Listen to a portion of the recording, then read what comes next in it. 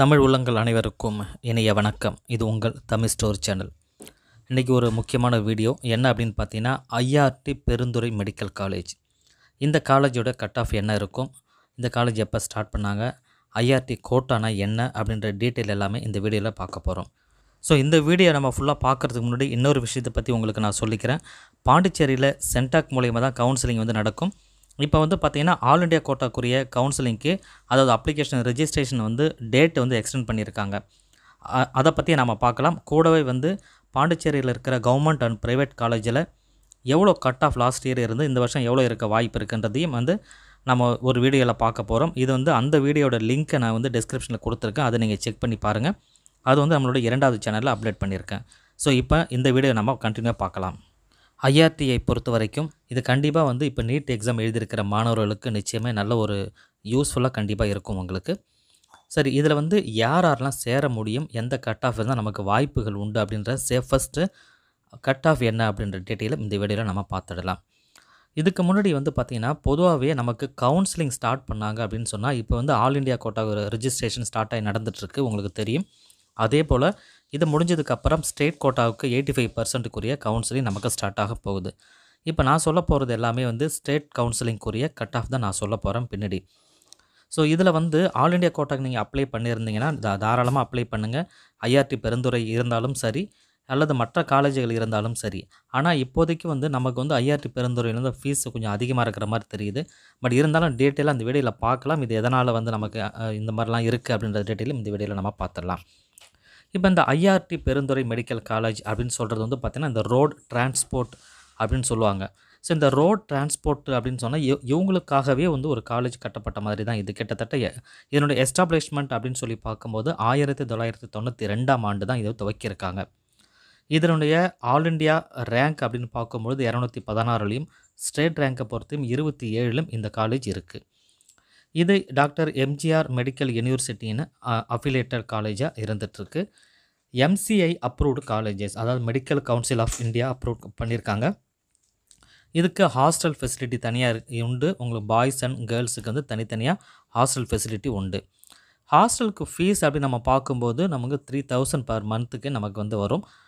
இது வந்து ஒரு அப்ராக்சிமேட்டாக தான் இது. இப்போதைக்கு வந்து இந்த வருடத்துக்கு என்ன கொடுக்க போகிறாங்க நமக்கு தெரியல. இது வந்து பழைய டேட்டா தான் நான் உங்களுக்கு சொல்லிகிட்ருக்கேன் ஆனால் இது கவர்மெண்ட் காலேஜா அல்லது ப்ரைவேட் காலேஜா அல்லது செமி கவர்மெண்ட் அப்படின்னு சொல்லுவாங்களா அந்த மாதிரி இருக்கா அப்படின்னு சொல்லி பார்த்தீங்கன்னா இது வந்து ஸ்டார்டிங்கில் நமக்கு வந்து செமி கவர்மெண்ட் காலேஜாக மட்டும்தான் இருந்துட்டு இருந்தது.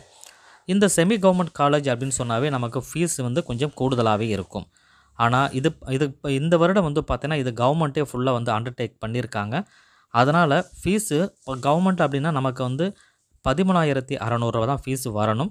ஆனால் இப்போ வரைக்கும் நமக்கு இருக்கிற ஃபீஸ் வந்து மூணு லட்சத்து எண்பதாயிரம் அப்படின்ற ரேஞ்சில் தான் இருந்துகிட்ருக்கு அதாவது செமி கவர்மெண்ட்டாக இருக்கும்போது என்ன ஃபீஸ் இருந்தோ அதே ஃபீஸ் தான் இப்போதைக்கு இருக்கிற மாதிரி தெரியுது. மேபி அவங்க கவுன்சிலிங் டைமில் கிட்ட போகும்போது குறையிறதுக்கு வாய்ப்புகள் உண்டு. ஏன்னா வெப்சைட்லேயே நமக்கு இன்னும் அப்டேட் பண்ணலை அவங்க ஃபீஸோட டீட்டெயிலை அதனால் பழைய ஃபீஸ் தான் மூணு லட்சத்து எண்பத்தஞ்சாயிரம் அப்படின்னு சொல்கிறது அதுதான் இருந்துகிட்ருக்கு இப்போது வரைக்கும்.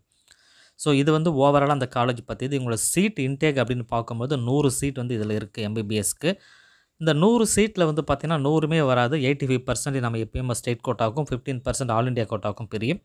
இது இல்லாத ரோட் டிரான்ஸ்போர்ட் பேரண்ட்டுடைய சில்ட்ரன் வந்து எம்பிபிஎஸ் படிக்கிறாங்கன்னு சொன்னால் அவங்களுக்கு தனி கோட்டா உண்டு.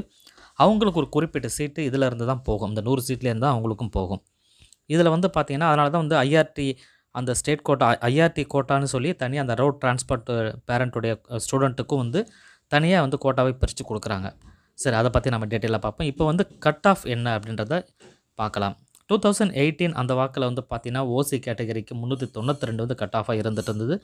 பிசி முந்நூற்றி அறுபத்தி நான்காகவும் பிசிஎம் முந்நூற்றி முப்பத்தி ஏழு எம்பிசி முந்நூற்றி பன்னெண்டு எஸ்சி கேட்டகரியில் முந்நூற்றி சாரி இரநூத்தி ஐம்பத்தி ஏழு எஸ்டி எஸ்சியை பொறுத்த வரைக்கும் இரநூத்தி பத்தொம்போது இரநூத்தி பதினான்காகவும் இருந்தது டூ தௌசண்ட் எயிட்டீனில் டூ தௌசண்ட் நைன்டீன் பார்க்கும்போது லாஸ்ட் கட் ஆஃப் அப்படின்னு பார்த்தீங்கன்னா கிட்டத்தட்ட நானூற்றி அறுபத்தி ஒன்பது அண்ட் நானூற்றி நாற்பத்தி ஆறு பிசிக்கும் பிசிஎம் வந்து நானூற்றி நாற்பத்தொன்று எம் எம்பிசி வந்து நானூற்றி இருபத்தி ஒன்பதாகவும் எஸ்சி கேட்டகரியில் வந்து இரநூத்தி எண்பத்தி ஏழாகவும் எஸ்சிஏக்கு வந்து இரநூத்தி ஐம்பத்தி எட்டாகவும் இருந்துட்டு வந்தது. ஆனால் இந்த வருடம் டுவெண்ட்டியில் வந்து பார்த்தீங்கன்னா டூ தௌசண்ட் டுவெண்ட்டியில் இப்போ கிராஜுவலாக எயிட்டீன் டு நைன்டீனே வந்து பார்த்தீங்கன்னா கிராஜுவலாக இன்க்ரீஸ் வந்து இருந்துகிட்ருக்கு.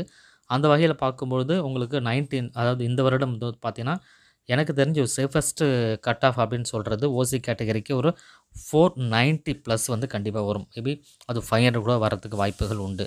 ஃபோர் நைன்ட்டி ப்ளஸ்ஸு பிசி கேட்டகரியில் ஃபோர் எயிட்டி ஃபைவ் ப்ளஸ் அதே போல் பிசிஎம்மை பொறுத்த வரைக்கும் இது எல்லாமே சேஃபஸ்ட்டு ஒரு கட் ஆஃப்க்கு நான் சொல்லிகிட்ருக்கேன் இருக்கேன் ஃபோர் சிக்ஸ்டி ப்ளஸ் எம்பிசி கேட்டகரியை பொறுத்த வரைக்கும் ஃபோர் ஃபிஃப்டி ப்ளஸ் ஆகவும் எஸ்சி கேட்டகரிக்கு three ten plus and SA கேட்டகரிக்கு வந்து டூ நைன்டீன் நைன்ட்டி ப்ளஸ் வந்து கண்டிப்பாக இருந்தால் உங்களுக்கு இந்த ஐஆர்டி பெருந்துறையில் சீட்டு கிடைக்கிறதுக்கு வாய்ப்புகள் அதிகம். இது ஒரு சேஃபஸ்ட் கட் ஆஃபாக இருக்கும். ஸோ நீங்கள் வந்து பார்த்துக்கலாம் நீங்கள் எவ்வளோ கட் ஆஃப் எடுத்திருக்கீங்கன்னு சொல்லிட்டு இதில் உங்களுக்கு கிடைக்கிறது வாய்ப்புகள் இருந்துன்னு சொன்னால் நீங்கள் காலேஜ் செலெக்ஷன் அந்த காலேஜ் நீங்கள் தாராளமாக செலக்ட் பண்ணலாம். அதுக்கு முன்னாடி ஃபீஸையும் கொஞ்சம் கன்ஃபார்ம் பண்ணிக்கிறது ரொம்பவே நல்லது. நமக்கு தெரிஞ்ச வரைக்கும் கவர்மெண்ட் காலேஜ் அப்படின்னு பார்த்தீங்கன்னா பதினாறாயிரத்து ப பதிமூன்றாயிரத்தி அறநூறு அப்படின்னு சொல்கிற ஃபீஸ் இருந்துகிட்ருக்கு பட் இதில் வந்து பார்த்தீங்கன்னா கூடுதலாக இருக்கிறதுனால இதை பார்த்துட்டு அட்மிஷன் ஆகிறது ரொம்பவே நல்லது. அதே போல் ஐஆர்டி கோட்டா அப்படின்னு சொல்கிறது இதில் வந்து தனியாக பிரிப்பாங்க. இந்த ஐஆர்டி கோட்டாவில் கூட வந்து பார்த்திங்கன்னா அதாவது ரோட் டிரான்ஸ்போர்ட் பேரண்ட்டுடைய பசங்க இருக்காங்கன்னா அவங்களும் வந்து ஓசி பிசி பிசிஎம் எம்பிசின்னு சொல்லி தனித்தனியாக கேட்டகரி பிரித்து அதுக்கு தகுந்த மாதிரி கட் ஆஃபும் பிரிப்பாங்க. அவங்களுக்கு தனியாக ரேங்க்கும் கொடுப்பாங்க. அந்த ரேங்க் படியும் வந்து அவங்களுக்கு கட் ஆஃப் பிரித்து கொடுத்து அதுலேயும் வந்து சீட் வந்து அலாட்மெண்ட் பண்ணுறாங்க ஸோ இதுதான் வந்து ஐஆர்டி பெருந்துறையோட ப்ராசஸ் வந்து இப்படி தான் நடந்துகிட்ருக்கு ஸோ வேறு எந்த காலேஜ் வேணும்னு நினைக்கிறீங்களோ அந்த காலேஜ் பற்றி டீட்டெயில் பொறுமை ஒன்று ஒன்றா உங்களுக்கு நான் கொடுக்குறேன். ஸோ அந்த வீடியோவை உங்கள் ஃப்ரெண்ட்ஸ் எல்லாருக்கும் ஷேர் பண்ணுங்கள் அவங்களும் இதை பற்றி டீட்டெயிலாக தெரிஞ்சுக்கிட்டோம். தேங்க்யூ ஃபார் வாட்சிங்